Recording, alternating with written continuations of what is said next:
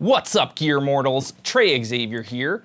On today's edition of Gear Gods Quality Control, we're going to be taking a look at this here itty bitty teeny weeny orange terror stamp. The orange terror stamp is a teeny tiny little pedal board amplifier head.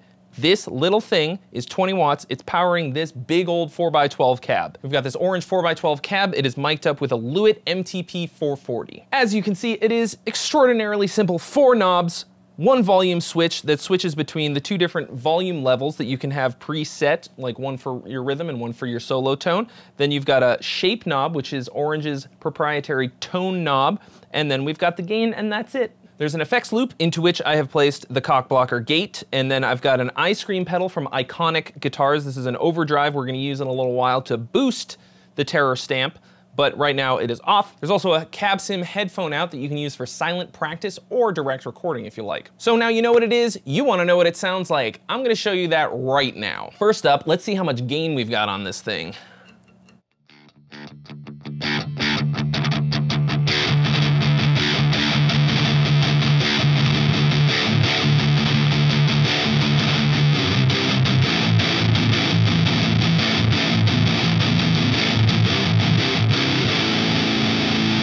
Quite a bit, but not a ton. I usually like at least a little bit more than that. Um, so later on we're gonna try boosting it, but that's what we've got for now.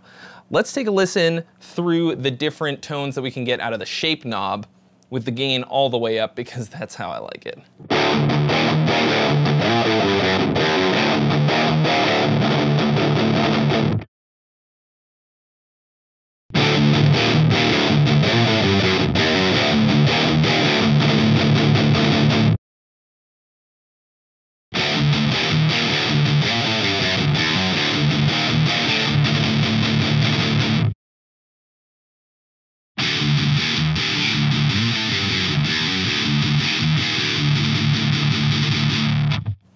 Cool, so that's a very broad range of tones and it changes continuously as you turn it.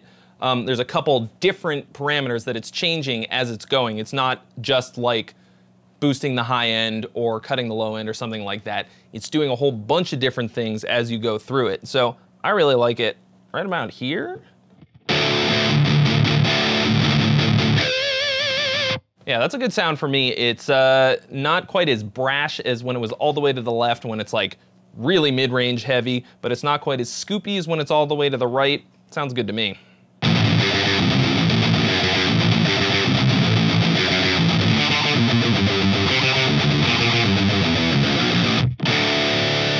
So you're on the gig, you're chunking away. Now it's time for you to take your solo now all of a sudden you're way louder.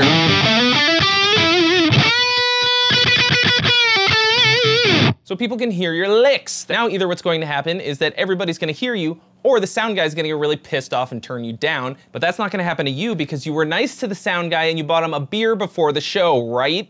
So now you've heard what the amp sounds like with some chuggy riffs straight in. Now I'm gonna try boosting it because it kind of doesn't have quite as much gain as I personally would like. So I'm gonna turn on the I Scream from Iconic Guitars and uh, see how that sounds.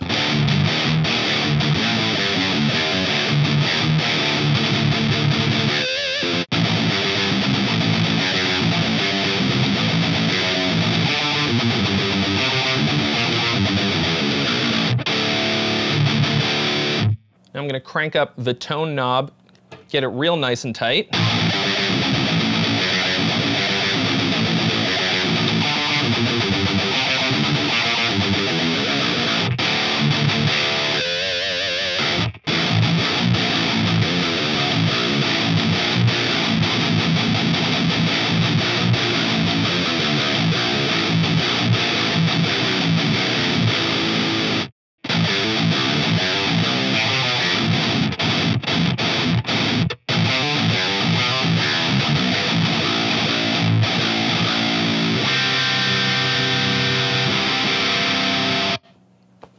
sounds awesome actually.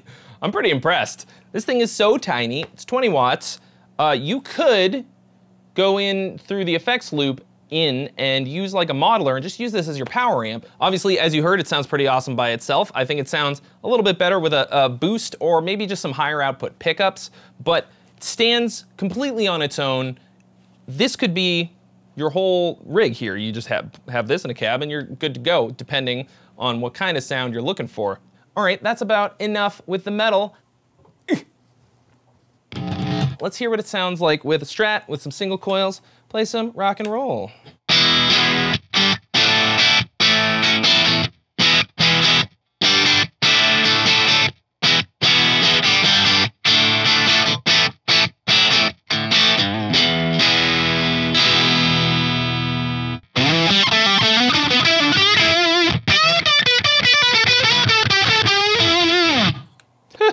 Yeah, sounds perfect with the Strat, actually.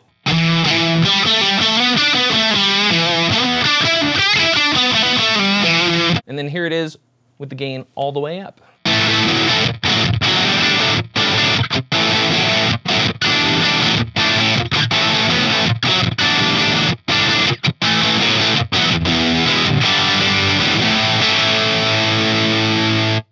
So there you have it, folks, the orange terror stamp. It's tiny, it sounds pretty awesome, and it's loud enough that I probably pissed off my neighbors tonight. The philosophical, lingering question that I'm left with is, how much smaller can they make these and still sound this good? Is this the threshold? Is this the smallest it's going to get? Because obviously this is already the smallest orange amp ever, and so far they've only been getting smaller. If they continue this trend, will they still be able to sound this good. So I guess congratulations are in order to Orange for squeezing that classic orange tone into so small of a package and making it sound so good. Very impressive. Thanks so much for watching guys and as always, mash that subscribe button, smack the bell to join the notification squad, drop me a like, and leave a comment in the comments section letting me know how much smaller you think these could possibly ever get. I mean, I didn't think it would even be able to be this small and sound this good. Do you think it can get even smaller? I want to know, and I'll see you real soon.